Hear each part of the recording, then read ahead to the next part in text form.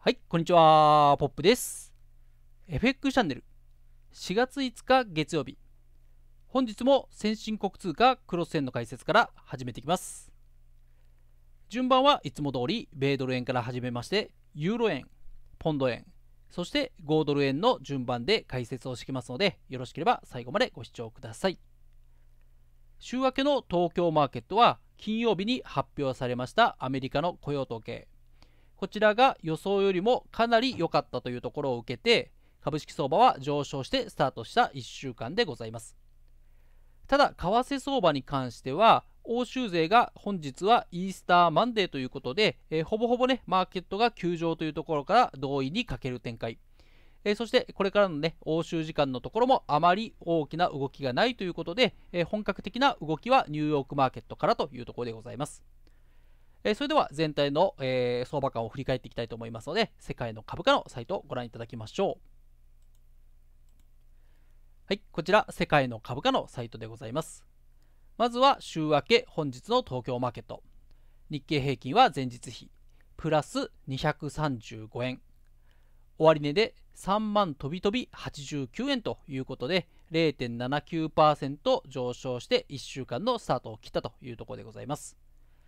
そして、え、アメリカの時間外取引に関しては、え、ダウ平均はね、木曜日の終値で止まっておりますので、今の時間外取引は木曜日の終値から172ドル上げました。3万3325ドルということで、えー、相変わらずね、えこちらの方、株式相場は高値張り付きというところでございます。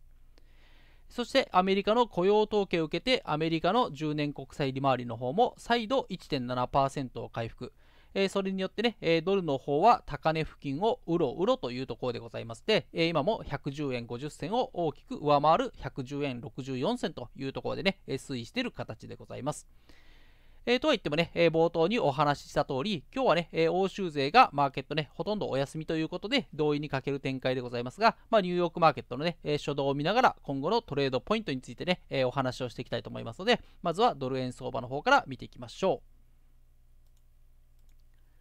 はい、えー、まずはね、米ドル円の15分足、こちら右側のチャートをご覧ください。えー、今日のね、えー、東京マーケットのオープンといいますか、為替マーケットのオープンですね。えこちらは、えおよそ110円60銭台でスタートというところで、まあ、上の上にも下にもね、大きく動かず、え合計でね、トータル20ピプスも動いていないという状況でね、えちょっとこの辺りは、えやはり東京マーケットだけでは相場を動かすような材料にはならないということで、今もね、えオープンと同じぐらいの、え110円60銭からえ70銭の間というところでね、え動きに乏しい形でございます。えそして、え60分足でね、デイトレの、え判断をね、いただくようなチャートとしていただければと思いますが、こちらが1週間の時間軸でございます。え先週のね、末から、えサポートの110円50銭、少しね、割り込むところがありましたが、えしっかりとサポートが1回、2回と入っている。えそして上方向では110円80銭ですね。えここのところがレジスタンスラインということで、まあ、一旦ね、111円に、え手がね、届きかけたところもあったんですが、えー、最終的にはこの30ピプス、110円50銭から111円80銭ですね、あ110円80銭ですね、えー、こういったところをうろうろする相場がありまして、まあ、これからね、ニューヨークマーケットも、えー、そのようなレンジ相場を動くかなというところでございます。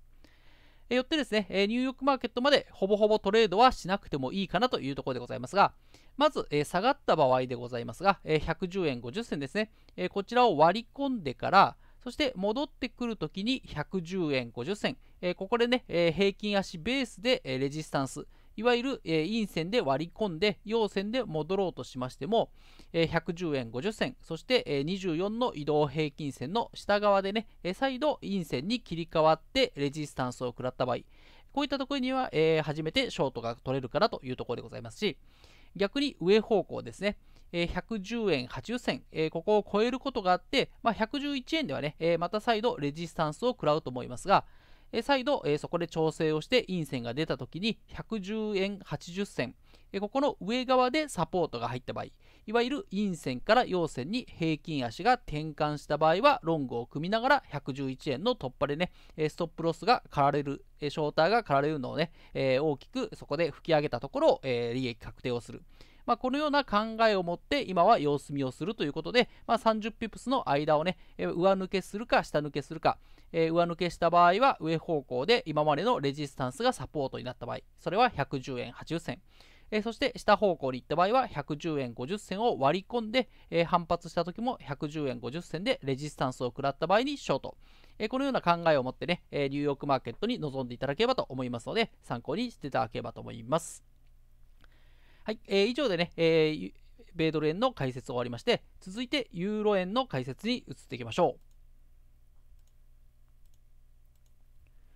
はい、えー、ユーロ円もね、米ドル円に続いて同意にかける展開が出ております。まずは右側のチャート15分足、えー、こちら1日のね、時間軸でございます。え本日のオープンに関しては130円10銭ということで、えー、相変わらずね、130円を超えている状況でございますが、一旦、えー、上がった後にまた下げるということで、えー、合計でね、20ピプスぐらいしか動いていないというのはね、えドル円と全く同じ状況で、え今の段階でね、えポジションを取るべきではないかなというところでございます。えではね、どこでポジションを取っていくかというのは、やはり60分足ですね。1週間の時間軸でご覧いただきたいと思います。えー、ポイントとなりますのはね、明確な節目であります130円ですね。えー、ここのサポートが入るかどうかというところでございます。えー、過去ね、130円というのは先週レジスタンスを食らって、えー、一旦ね、落ちているところ、そこをね、週末に、えー、上がってきて、今サポートを受けているという形なので、130円は過去のレジスタンスから現在はサポートとして機能しているというところでございます。えー、ただね、今、陰線で、迫ってきておりますので、え今後の、えトレードポイントとしましては、まず、えショートを取る場合は130円を割り込んで、戻ってくるタイミングで130円付近、もしくはその下側でですね、え戻ってきた陽線から陰線に転換した場合はショート。その場合はね、移動平均線も下げていると思いますので、右下下がりの移動平均線の下側で陽線から陰線という形にもなりますので、やはりそういったところではショートを取るというところがよろしいかと思います。え逆にですね、上方向に上がった場合は、レジスタンスが130円25銭から30銭のところにございます。えよってですね、えロングを取る場合は、この130円25銭から30銭を上抜けて、そしてその上側でですね、今までのレジスタンスラインがサポートとして機能する。いわゆる陰線から陽線に平均足が転換した場合に、えー、初めてロングが取れるかなという状況になりますので、あくまでもこの130円、えー、130円ジャストから130円30銭ですね。このレンジ相場では、えー、そんなにね、え値動きもなければ値幅も取れないというところで、そこは捨てていただきながら、え割り込んだ場合にレジスタンスを食らったらショート、上回った場合にサポートを受けたらロング、えこれもね、米ドル円と同様にレンジを抜けたところの対応をしていただければと思いますので、参考にしていただければと思います。はい、えー、以上でね、ユーロ円の解説を終わりまして、続いて、ポンド円の解説に移っていきましょう。はい、えー、ポンド円でございますが、えー、ポンドの方はね、今は153円で収束しておりまして、ちょっとこちらのレンジがなかなか抜けないかなというところでございます。え、今日のね、え、オープンに関しましては、この辺りですね、え、153円付近でスタート。その後もね、えプラスマイナス、こちらも10ピプスずつということで、合わせて、え20ピプスの値動きしかしていないということで、やはり東京マーケットだけではなかなかね、相場を動かすような力がないというところでございます。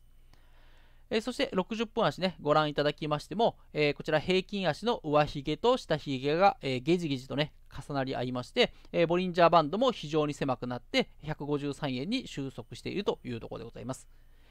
えこちらもですね、え今のレンジ相場で手を出す必要はなく、今ね、ロングを、ショートをえ組んでもですね、え超反爆地になってしまうというところからですね、やはり直近の高値と安値をね、抜けたところを意識するというところがよろしいかと思います。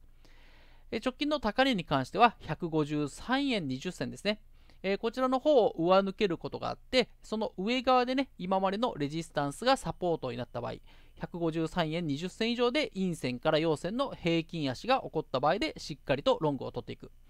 えー、逆に下方向はね、152円80銭から70銭となりますが、えー、この辺りを破ってしまって、サポートが入った場合でも、その152円80銭から70銭ですね、こういったところの付近でしっかりと陽線から陰線に再度ね、下げのトレンドが出た場合、その時にショートを組むというところで、こちらもね、153円付近で長反爆地を取らず、しっかりとレンジを抜けたところでサポートが入るか、レジスタンスが入るか、えこういったところで、えロングとショートを取っていく。えこのような形で、まあ、米ドルもユーロもね、え同じことでございますが、ポンドの方もね、え153円の、えプラスマイナス20ピプスを抜けたところで、えサポートレジスタンスを確認してからのポジション。えこういった形で、えよろしいかと思いますので、ちょっと欧州時間はそのまま様子見をして、ニューヨーク時間の初動にね、えついていくという形で準備をお願いしたいと思います。はい、えー、以上でね、えー、ポンド円の解説終わりまして、最後に5ドル円の解説で締めていきましょう。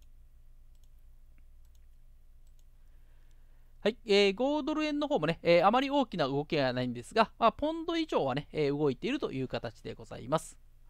えー、今日のね、オープンに関しましては、えー、84円付近で、えー、スタートしたというところでございますが、こちらもね、えー、上値は、えー、84円30銭を抜けたところでレジスタンス。今はね、えー、一旦調整をしておりまして、ほぼほぼスタート地点の84円10銭に近づいてきているというところでございます。えそして、え60分足でね、えやはりデイトレのタイミングを測っていきたいというところでございますが、えこちら、え今ね、えサポートを受けているのはやはり84円ということで、1週間の時間軸の中、え先週のね、え週の初めから半ばにかけては、え84円を挟みながらね、えうろうろするようなレンジ相場でございましたが、週末のところで、しっかりと84円でサポートが入り始めていますので、まあ、こちらの84円を上回っているのか、それともね、えー、割り込んでしまうのか、えー、これによって、えー、判断をいただければと思います。えまずはね、今、陰線が出ておりますので、え下方向に行った場合、え確認していただければと思いますが、えこちらの方もね、え前の3通貨と同じように、84円を割り込んだところで手を出すのではなくて、え84円を割り込んだ後、戻ってくるときに、84円よりか下側で、え再度ね、陰線が出たところ、えこういったところでね、しっかりショートを組む。え、過去はね、割り込んでもことごとくね、V 字回復を、え、先週はしてこり、え、してきましたので、やっぱり84円でね、え明確にレジスタンスにならなければ、ショートは組めないかなと思いますので、まあ、このあたりですね、え84円の上側でショートを取るんではなくて、84円を下回って、え反発した時にレジスタンスがその今までのサポートの84円、ここでレジスタンスを食らって、え再度陰線が出たところでショートを取る。え逆にですね、えロングを取る場合に関しては、先週ね、えダブルトップをつけておりました84円50銭。ちょっとね、今の、え、価格から35ピップスぐらいね、上になりますが、ここがレジスタンスラインとなっておりますので、え、ここを破った後、上抜けした後に84円50銭、この付近でサポートが入った場合にロングを組むというところで、あくまでもね、今の84円から84円50銭、えー、このようなレンジ相場の中で勝負をするんではなくて、え同じようにね、えこちらも割り込んでレジスタンスを食らったらショート、上抜けてサポートを受けたらロング。このような考え方を待つのも相場ということで、欧州時間、えー、ほぼほぼね、休場ということで動かないと思いますが、ニューヨークマーケット、そのような動きが出た時に、しっかりと対応できるように準備の方よろしくお願いしたいと思います。はい、えー、以上でね、え今回のクロス円4ペア4通貨の解説を終わります。えー、お知らせがね、えー、2つありまして、1つはね、えー、FX のトレードセミナーでございま、え勉強会でございますが、えこちらの方ね、おかげさまで、えメンバーがね、集まってきましたが、え今週の日曜日までですね、え募集の方、え続けておりますので、引き続きね、ちょっと現状を変えたいという方いらっしゃれば、え初心者トレーダーから脱却するためのテクニカル分析と資金管理というね、テーマで、え講義をしながら、後半部分は皆さんの、え個別の質問にも答えていくというね、えコーナーを設けておりますので、えー、ぜひね、え概要欄の方に貼っておりますので、詳細をご覧いただければと思います。え、そして、え、本日のね、え、21時も YouTube ライブ始めていきますので、え週始めのね、マーケット気になる方、えー、ぜひね、え21時からの YouTube ライブ、えご参考に見ていただければと思いますので、よろしくお願いします。えそれではね、1週間始まりましたが、えお仕事とトレード、今週も頑張っていきましょう。最後までご視聴いただきましてありがとうございました。バイバイ。